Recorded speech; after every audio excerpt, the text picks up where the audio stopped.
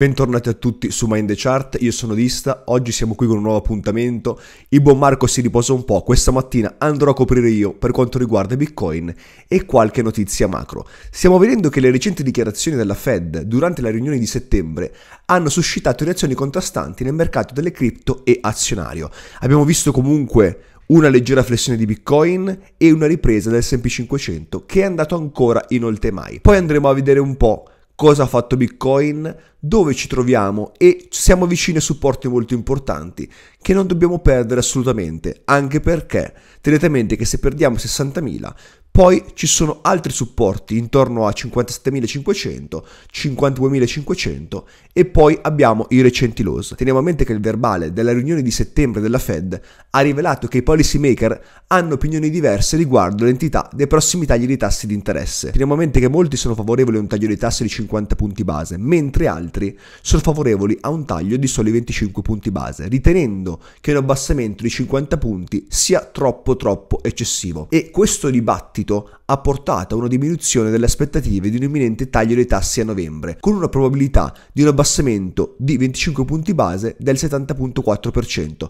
secondo il Fed Watch. E chiaramente il prezzo di Bitcoin durante queste ore ha subito una forte flessione andando all'incirca verso i 60.000 e qualcosa. Ora ha un po' recuperato, ma comunque ha perso ancora supporti importanti. E chiaramente se Bitcoin dovesse perdere i 60.000 potrebbe esserci comunque una reazione bearish del prezzo e potrebbe portare il prezzo a scendere maggiormente. Ma quali sono i fattori chiave per un rimbalzo di Bitcoin e quali sono i fattori chiave per portare Bitcoin ad andare verso gli 80-90 mila dollari? Infatti potrebbe ancora avere lo slancio, però molti ritengono che non è ancora il momento. Il primo punto sono le elezioni americane dove una vittoria repubblicana potrebbe favorire il mercato delle cripto grazie al sostegno del partito e quindi parliamo comunque di Trump. Il secondo fattore riguarda una situazione economica, in particolare l'eventuale abbassamento di tassi da parte della Fed e nuovi stimoli fiscali in Cina. Questo è molto importante anche l'economia cinese che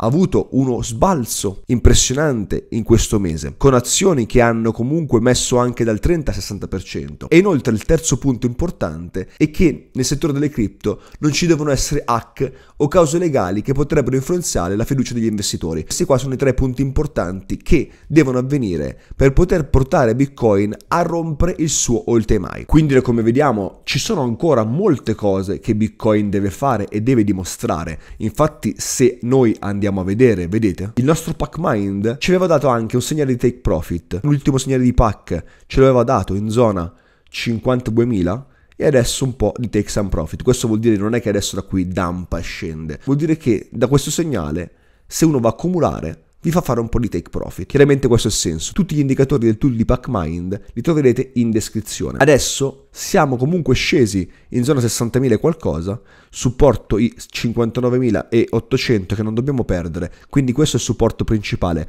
Se rompiamo questa zona, prossima zona sono i 57.500 quindi ci potrebbe essere un test di queste zone. Quello è il prossimo supporto che io sto osservando.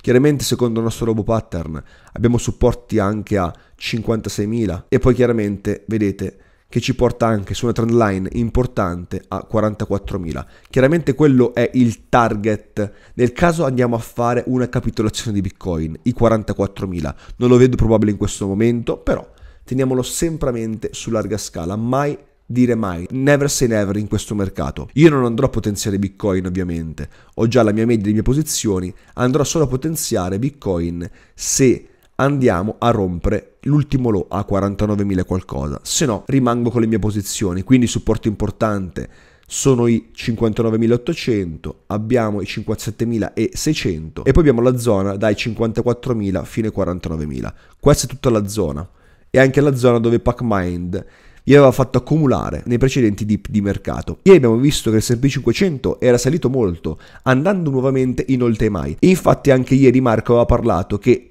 comunque la discrepanza tra l'azionario che continuava a salire e il mercato delle cripto che continuava a scendere. Non siamo messi per niente bene a vedere uno spike così forte in oltre mai e un bitcoin così debole. Molti non se lo aspettavano, molti pensano ancora che possiamo andare in oltre mai e infatti anch'io penso che possiamo andare ancora in oltre mai. Il problema sarà quando e come. Bitcoin deve trovare la forza di fuoco per andare a rompere queste benedette resistenze. Se andiamo a vederlo, vedete, abbiamo ancora molte molte resistenze e c'è comunque ha ancora molto molto da dimostrare.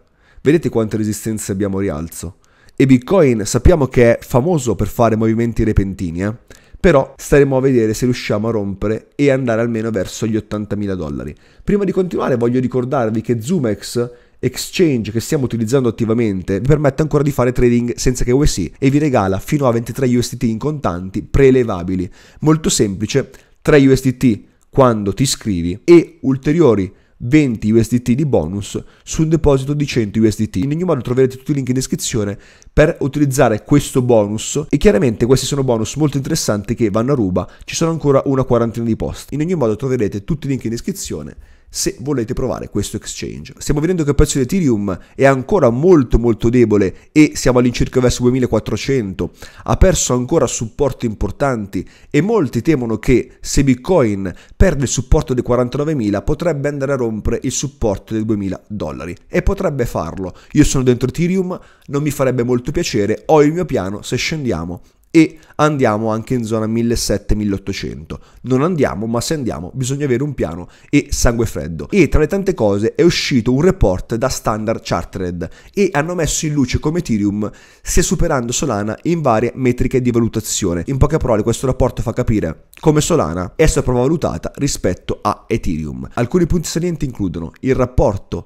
tra la capitalizzazione di mercato di Ethereum e il reddito da commissioni di rete è di 121. Parliamo di oltre due volte inferiore rispetto a 250 di Solana. Inoltre Ethereum ospita il 38% degli sviluppatori nel settore blockchain, mentre Solana solo il 9%. Abbiamo anche il tasso di crescita annuale dell'offerta di Solana è del 5.5%, mentre il tasso di inflazione di Ethereum è recentemente aumentato, attestandosi allo 0.5%. Ciò implica che il rendimento dello staking di Ethereum è del 2.3% superiore a quello di Solana, che è dell'1%. Quindi vedete che ci sono delle metriche molto più favorevoli per quanto riguarda Ethereum, ma se andiamo a vedere il prezzo, il prezzo non rispecchia per niente queste metriche. Come vi dicevo, Ethereum non ha molti supporti, eh? Se andiamo a rompere i 2300, poi abbiamo i 2258, 2150, fino a 2000 qualcosa, fino a 2100. Io non vado più a potenziare Ethereum, lo andrò solo a potenziare alla rottura di questo supporto. Non sono consigli finanziari, solo pareri personali, questo è il mio play, ma non andrò a toccarlo fino a che non scendiamo verso i 2000 dollari a scendere. Ho ordini fino a 1700 dollari, nell'eventualità che va, almeno li ho, e non sto direttamente sui grafici, uno deve essere sempre sul prezzo e pronto. Quindi vedete che Ethereum rimane ancora debole, siamo all'interno di questo triangolo sul giorno, ci possiamo andare avanti ancora a stringere, però a mio avviso non ci sono segnali favorevoli ancora e vedere un Bitcoin così debole, se non si riprende Bitcoin velocemente, chiaramente non lo faranno le altcoin, ci sono poche altcoin che al momento sono andate abbastanza bene e chiaramente stiamo vedendo per esempio altcoin legate all'intelligenza artificiale, ma anche il settore meme. Un video qualche giorno fa, se volete andate a vederlo, dove ho fatto un po' di analisi per quanto riguarda altcoin legate all'intelligenza artificiale, ma anche per quanto poi riguarda le meme coin. E vi ricordo che nel terzo trimestre 2024 le startup di intelligenza artificiale hanno continuato a ricevere un sostegno significativo, rappresentando il 30% del totale dei finanziamenti di venture capital. E ovviamente le startup legate all'intelligenza artificiale hanno raccolto quasi 12 billion, 12 miliardi negli ultimi 90 giorni, nonostante un declino nei finanziamenti di venture capital. E questo fa capire che se settore AI è molto molto forte al momento, si riversa per quanto riguarda gli stock AI, ma anche per quanto riguarda poi i token legati all'intelligenza artificiale. Abbiamo visto per esempio Tao, Tao che ha continuato a salire, se andiamo a vederlo, BitTensor, vedete la forza che sta avendo, ma anche molti altri nomi che abbiamo analizzato hanno continuato a salire. E chiaramente questo è il trend in voga, però molto molto bene perché l'intelligenza artificiale hanno permesso alle persone, ai retailers e ai trader ancora di speculare. E quindi questa è una cosa molto importante perché se non ci sono queste narrative, Le cripto al momento sono morte, cioè non c'è nessun tipo di volatilità, perché chi ha preso Bitcoin ha preso Bitcoin, ma non è volatile. Se andiamo a vedere gli ultimi mesi, da marzo è in fase di lateralità, compressione e ovviamente questo non porta beneficio nel settore.